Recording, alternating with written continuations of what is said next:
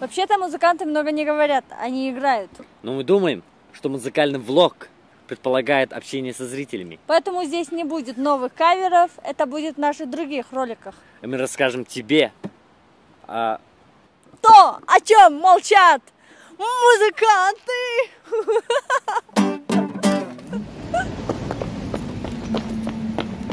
Эй, тут наша Я же на каблуках, подожди! А кем жать не будет? Ахим? У нас есть меньше трех минут, чтобы показать тебе, что такое музыкальное жито. Алга!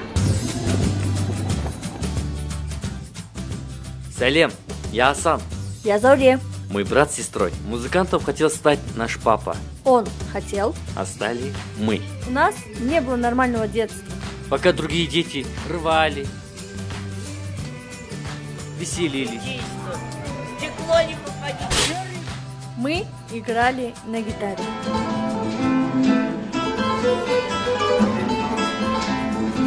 Гитара просто так не дается. Сначала начинают болеть кончики пальцев. Там прям нервные окончания, а ты давишь на них. А потом пальцы тебя не слушают. Если ты пройдешь это испытание, Сможешь сыграть что-то более-менее внятное.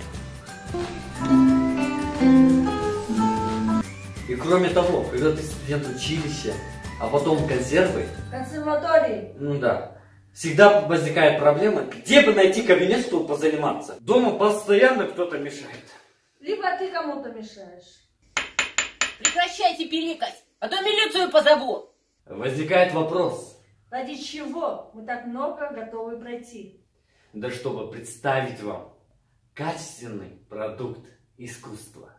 Музыкант зависит от слушателя и хочет, чтобы тот обладал хорошим вкусом. Тогда мнение слушателя не будет зависеть от толпы или массовой пропаганды.